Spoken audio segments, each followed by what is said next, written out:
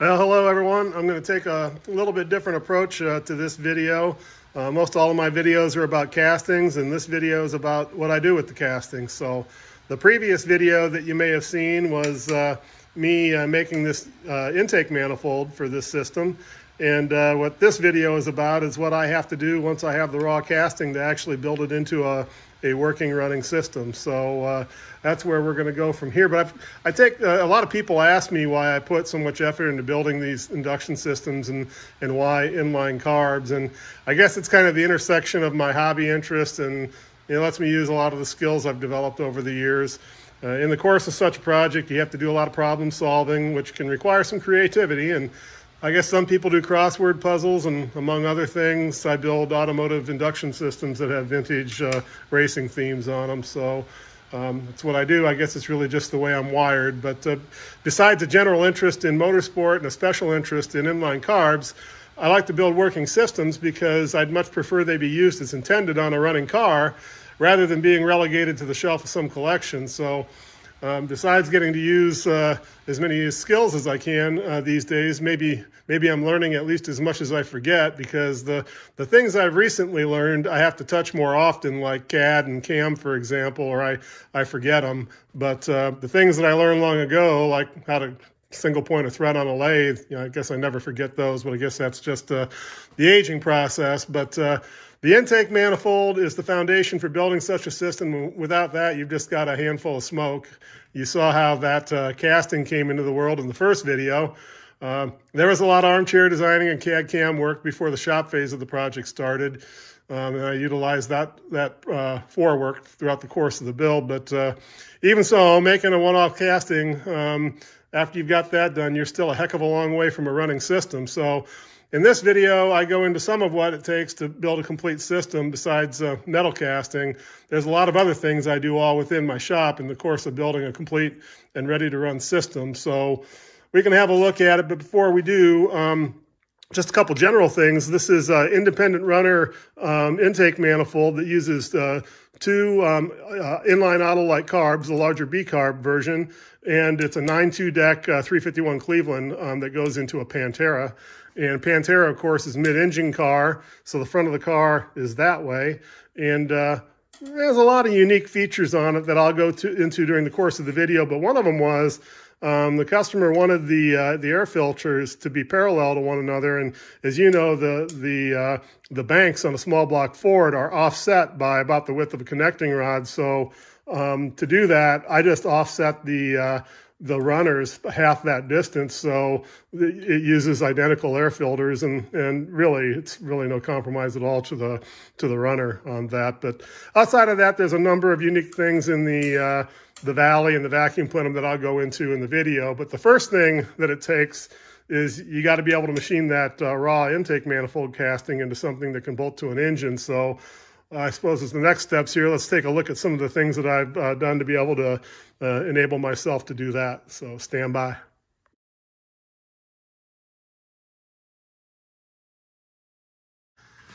Just thought I'd show you guys my machining fixture. I got it set up on my knee mill here, but I built this, um, oh, a few years ago for machining intakes and truing them and decking them and so on. But uh, basically there's a, a plate that I mount to the carburetor flanges and then I mount the plate to the fixture. And the fixture is mounted in a rotary table as you see there at the end on one end and you know an angle plate on the other. And uh, I didn't build uh, locks into the right end, so I just, uh, after I um, rotate it in the rotary table, I just clamp it in place when I do the machining there. But uh, I uh, I use a CAD program and I can calculate the uh, three space coordinates for all the, the, mounting holes. And I just rotate the uh, rotary table to the right angle and then send the XY table to those coordinates and uh, go ahead and drill all the holes from the backside. And I can also do the milling um, to the proper thicknesses on the flanges and whatnot. So uh, that's probably the trickiest part, getting, um, one, getting the fixture um, set up and indicated in properly, and then getting the uh, the intake manifold uh, mounted and indicated in properly. But uh, I built some aids and little uh, tricks into the fixture to help me do that. So uh, I'm ready to get machining on it and finish this one up. I'll see you shortly.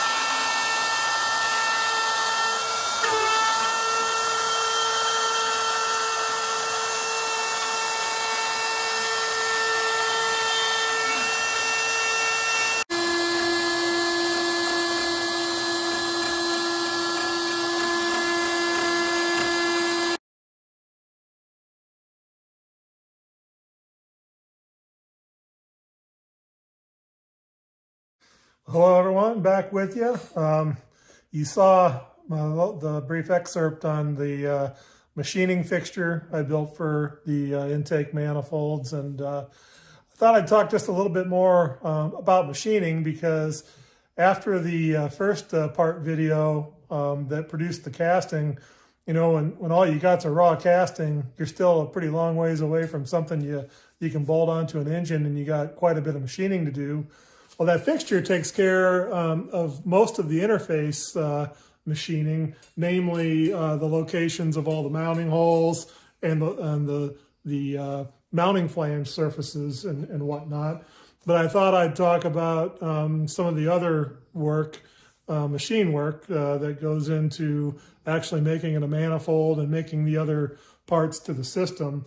Um, this particular manifold uh, as you know from the uh, pattern, it's got um, a vacuum plenum and has got quite a few ports here for vacuum accessory and um, for adding oil. Um, this particular customer, he wanted uh, three or four things um, included in that vacuum plenum. One of them was he wanted to be able to fill oil um, to the engine um, through the valley. And that takes some doing because you've got to penetrate the vacuum plenum and maintain a seal. So that's what this port is right here. And I'll show you the underside uh, in a minute, but this is the oil fill port. And um, to do that, um, I actually, uh, um, I made him uh, an oil fill cap here out of brass and single pointed that thread on my lathe and machined the O-ring groove into it. And then to do the uh, mating port for it here, um, as opposed to single pointing the thread because uh, I figured that's a good way for me to scrap the manifold. I'm just not a good enough machinist to be confident enough to single point that in um, on, on my mill. And uh, so um, I got a uh, $25 special uh, one and a quarter inch number 12 uh, tap, which is pretty damn good tap for 25 bucks delivered. Um, it's a bottoming tap with six flutes, but it, uh, it did the job very nicely. And then I did um, single point the uh, the O-ring gland for it in the chamfer in there with my boring head. So when you're done, uh, the oil cap, of course, got an O-ring seal on it, and uh, it just screws in there like that. So a couple of the other things here is um, the ports that I use for vacuum ports, um, they're not pipe thread fittings, um, they're port fittings. And port fittings um, are like here, you see, they've got a straight thread and an O-ring on them and they screw into a straight threaded port with a gland for that O-ring. And they're most typically like a flared fitting on the other side, but they could be anything. But a long time ago, I invested in, uh, in a set of port cutting tools for that. And this, this particular um, set that I have um, is a, a, radial drive. Um, I think Metcut popularized that, but I've got a series of these uh, different size port cutters that does the pilot for the uh, for the threaded hole and all the features um, for the O-ring gland. And uh, these uh, radial drives are kind of nice. So uh, anyway, that kind of speeds things up. And uh, that's what I use to do the uh, three port fittings. And then the uh, straight port fitting with the O-ring just screws into those. And they seat and locate positively and seal positively um, with the, the O-ring. So those are pretty nice. And then the last thing this customer wanted is he wanted um, positive crankcase ventilation. And I tried to talk him out of that three times because I just don't think it belongs on um, an intake manifold and performance engine like this, but he was dead set on having it. And this is what he provided me for it. And he wanted it to push in with a grommet. Um, so that's what this port here is, is it receives that grommet and that uh, PCV valve pushes right into it. And then it gets its vacuum from one of these ports here. So um, anyway, that's uh, besides the carb flanges and the mounting holes, um, that's all what's going on on top of the manifold um, for that. Now, if we turn it over, um, look at the underside, you can see uh, that's um, it's got a lot going on there too. So um, these these three holes here actually go through the uh, the valley or the plenum plate that does all the sealing here, and they get additional seals um, because they actually penetrate into the engine crankcase. And all the rest of the features on the plate I'll show you in a minute here um, seal the vacuum from the outside world. But uh, you probably saw on the uh, video footage leading up to this, I actually did this machining here on my CNC router. And I got to tell you, I had about 30 PSI of butt pucker while that was going on because that's asking that's asking a lot um, out of that little machine. But uh, I took uh, very light cuts and uh, I have to say, I mean, you can't, it's hard for you to tell because I used a quarter inch end mill. So there, there's a lot of witness marks that you see, but the finish is actually pretty darn good. Um, I'm really surprised uh, at how good a job uh, it did on that. But uh, you can see it's a pretty complex shape. And then um, these little mouse holes right here um, are what allow all the cavities underneath there. These are the strengthening ribs. And I put those in the pattern for strength and I left them in there until the very last operation. And then I put these little mouse holes in there because that's how all the plenums talk to one another um, on that. So uh, if we take a look at the mating plate here, so I also did this on that CNC router. And you can see it's got a gland all the way around the outside. Um, I use O-ring cord stock and splice it together, and that's how I make that big O-ring for out there. Um, every one of the screw holes just gets a round O-ring like this uh, that pops into each one of the screw holes. And uh, since the, the uh, pressure uh, difference is from the outside world in, uh, these, these uh, all the screw glands actually seal on the OD of these little counter bores, not on the threaded screw. And the same thing with these, the, the, the, outside pressure of the world is here and the vacuum's here, so everything is from the outside of these holes um, in. So when you design those O-ring glands, you design the O-ring to fit on the side of the hole um, that's low pressure on that. And you can see I've got um, the O-ring sitting in that gland right there. So anyway, when you, when you flip that over, um, actually goes like this, like so, um, it lands with all those O-rings on all those holes. And then there's a screw um, that goes, of course, in each hole. And these are uh, these little Allen head screws. I don't know if you can see it or not, but uh, they're actually drilled so they get safety wired um, to one another since they're exposed to the inside uh, of the engine. So uh, anyway, that's um, these are the three ports that penetrate into the valley, as you can see, and they're all O-ring sealed uh, too. So I can hold it up so you can you can see those there. So uh, yeah, that's a fair amount of machining. There's one other thing too that I almost forgot about. Here, I'll take this out. Uh, even though I don't really like that PCV valve, I just kind of got on board. So I machined uh, this little baffle here.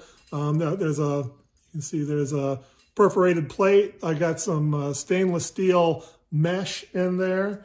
Um, there's another perforated plate that goes on top like so. And the only thing that's not in there yet is I haven't machined in the snap ring groove. I'm still waiting on the, the uh, snap ring. I had a hardware order from McMaster I got coming. It's coming. But that, that snap ring will go in there and it'll be a self-contained module.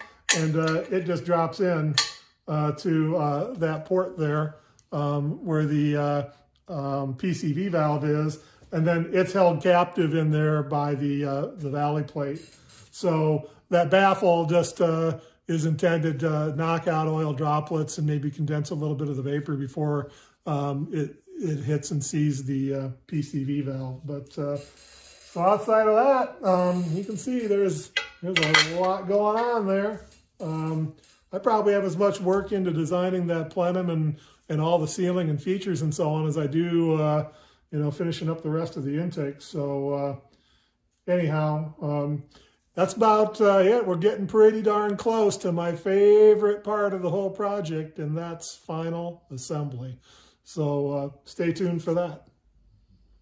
So I used to uh, outsource uh, my plating, but the problem with it was uh, they always charged me a lot charge of between 80 and $150, and uh, they weren't very reliable, and quite frankly, they probably weren't very impressed with me, and I surely wasn't very impressed with them.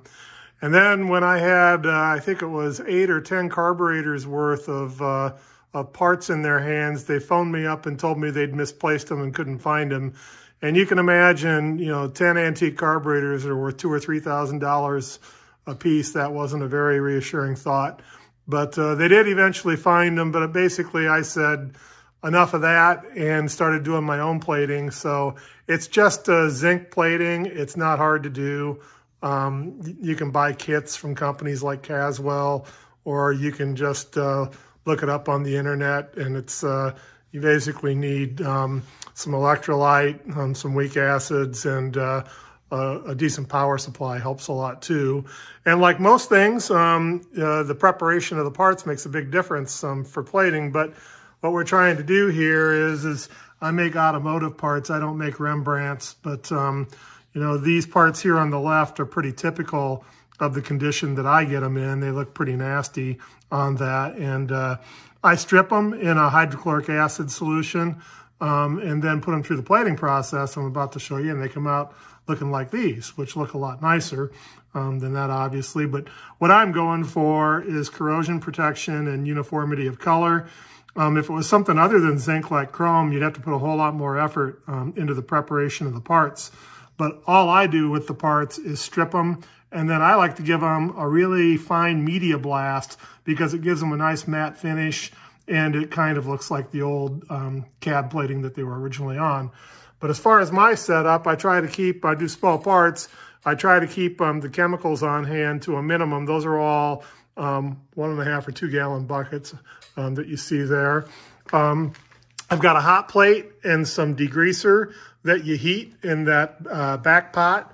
The front uh, one is just rinse. Every one of these steps in the process has its own rinse. That thing sitting in the middle there is a constant current power supply, so I can just dial in the current that I want. Uh, zinc um, wants about an amp um, per, I think is it uh, amp per square inch. I have to look it up. Um, I already forgot. But um, the process is pretty simple that you see here. This is the electrolyte. Um, this thing clamped here is actually the um, an aquarium pump um, on the bottom of that, and that's circulating, giving light circulation to the electrolyte. There's um, two zinc anodes here that are connected, and the uh, anode um, gets the positive source um, from the power supply, and then the cathode, which you hang the parts on, uh, gets the uh, the negative source. And uh, the electroplating process dissolves the zinc off the anode and attracts it to the cathode. And the cathode is the parts that we're plating. And then I mentioned uh, each uh, process has its own rinse. That's what these buckets in front of are just distilled water. Um, this one here that I've got the parts in, a couple parts in, is just a really light, it's a 5% hydrochloric acid solution, solution to, to etch the parts. Um, I etch them, then I degrease them, um, then I give them a light etch um, again, and into the electrolyte they go. They get plated. And then um, between the rinses, the final step is here. And um, this is uh, chromate. Um, I use yellow chromate, so it comes out looking like the CAD color on that, but that's how I get the parts plated and I don't have to put up with uh, vendors and they don't have to put up with me. I don't worry about lot size. I just do what I need to do and I get decent looking parts that have good corrosion protection on them. As far as the chemicals, the degreaser is benign. That's any degreaser you could naturally use. The electrolyte, I mean, you can use white vinegar. Um, I use a solution that, that uh, I think works a little bit better than that. The, the hydrochloric acid solution is pretty darn benign. You can just dilute that and, uh, and you can put it down the drain um, on that. The only thing you probably need to treat with a little bit more respect um, is the chromate. Um, it's fairly dilute and, you know, it got um, hexavalent chromium got a lot of press and Erin Brockovich, but drinking it for 30 years versus just having a gallon and a half of it in your shop are two completely different things. But uh, that's pretty much it for my plating setup. And I also, you don't see it here, but I built myself a little barrel plater that also fits in that electrolyte bucket. So all the little dinky things like uh, the unique hardware, idle screws and stuff like that, I just throw in that little barrel tumbler and I plate those in bulk. So uh, that's the plating process. Back with you soon. Well, all the uh, carburetor cleaning and prep and repair work is done and it's time for reassembly. Um, I got a number of trick parts that I put into the carburetors, but uh, when I get them back together, they're better than they ever were new. So we'll put these back together and have a look at uh, what the outcome is. Stay tuned. All right, everyone, I'm back and it's my absolutely favorite part of the process, and that's final assembly. So first thing I'm gonna do here is button up the vacuum plenum. A um, couple of things. I did finish up this little baffle uh, that I made here. It's got some, um, I guess they call it scrubble. It's uh, just, uh, it looks like swarf, you know, catch uh, water or oil vapor. And uh, it's all held together in there between uh, perforated plates and a cylinder with a snap ring. And that little cartridge just uh, slips right in here to this pocket and it gets captured by the uh, valley pan when it goes on. And then the valley pan, I've got uh, all the O-rings um, installed in it. Um, that perimeter O-ring I had to splice, as did this one here. The rest of them are just round O-rings. I uh, put some lube in a, in a bag and uh, squished them all around in there to lube up the O-rings thoroughly so they're, they're stock. But uh, to put it in there, I'm gonna do this and also put one screw in here because this one here gets a little, a little tricky.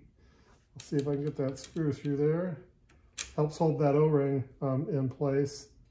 So all right, let's see if I can get it in there. So I'll just set it in there like so. And there we go. So I'll go ahead and uh, put all these uh, drilled socket head cap screws uh, in there. I talked about those before. They'll eventually get safety wired. But I'll button these down and then we'll, uh, we'll move over to the top side and start getting things together there. Stay tuned. All right, everyone back with you. You see that uh, I've got some studs installed. I Loctited those in place and, and set them. And then you can probably see the uh, gaskets um, are in place there, this individual gaskets. And so it's ready to have the carbs uh, mounted on it. But before I do that, um, you can see the linkage here uh, laying on the, the table here and these brackets. These two brackets here are uh, part of the linkage and so is this one. It's actually mounts the accelerator cable and I fabricated these uh, from eighth inch uh, steel plate and uh, um, to custom fit this fellow's uh, Pantera installation. And then uh, these two, same thing here.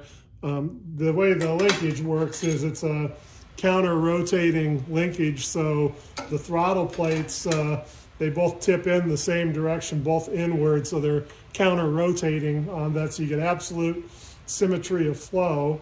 And then you probably noticed um, But uh, I made the little Heim links here, bought the uh, rod ends. These two little castings I sneaked in there on you. You'll see when they're installed how this mounts uh, on some of the carb features. And then the uh, bell crank here is mounted in ball bearings. So it's got like zero backlash. So It's, nice and tight. And uh, I'll show you when I get it installed. I'll probably have to take the tops of the carbs off so you can see it well. But good linkage is just really critical for independent runner systems so you can adjust and tune them. But uh, I'll get on with the install here and we'll come back and take a look at the linkage installed. All right, so first off, the uh, as far as the linkage goes, the customer asked that I set it up to interface with the original equipment accelerator cable in the Pantera. And of course, Panteras are mid-engine cars, so this is the front of the car. And it's a little different because that means the accelerator uh, cable pulls this way, whereas in a front engine car, it'd pull the other direction. So the, the linkage had to accommodate that. But I've got one of these uh, quick release ball joints on here and just uh, slips right out of here. And tell you what I'll do, I'll take the tops off the carburetors and we'll take a closer look at the linkage because it's a little easier to see it that way. So stand by. All right, let's have a look at what we've got here. So you see all the bits and pieces of the uh, linkage mounted up. The mount for the bell crank picks up the original accelerator lever mounts on the carburetors, these two extensions here. Um, they're inboard, in this case, the way I have it set up. And then, of course, the uh, bell crank mounted in bearings mounts to that. Uh, we got a little redundant return spring out here. You see down here the uh, accelerator cable bracket that I mentioned before. And then um, one thing that, um, remember on this, since a Pantera is a mid-engine car, the front of the car is that way, and that's where the accelerator uh, uh, cable comes from. So the, uh, the linkage, this here where it connects with that uh, snap-off ball joint, actually actuates this way to open the throttle. And I don't have the idle stop or wide open throttle stops adjusted perfectly or anything right now, but you get the idea here that it all actuates. You can see the accelerator pump um, arms on uh, all four of them on the carbs moving in unison with the uh, the accelerator. So uh, yeah, I put a fair amount of effort um, into the linkage, and like I said, it's just necessary. You need to do it for IR systems like that. So I thought it was better seen with the tops of the carburetors off, so I'll put that back together and uh, maybe put the filters on and we can get kind of a final shot of that. Stay tuned. Well, all right, that pretty much brings us full circle from where we started. I bolted the filters onto it, and uh, I guess I'll wrap up the video with a few uh, glamour shots of uh, still shots of the induction system, but uh, you can have a look at those. This is, uh, I think it's the first time that I ever did a video on one of the induction systems, the completed induction systems that I cast manifolds for.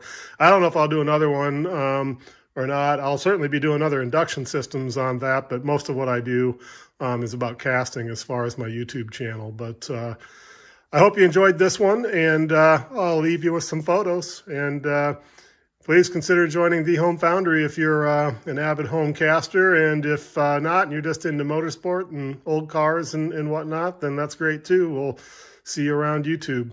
Take care. We'll catch up next time.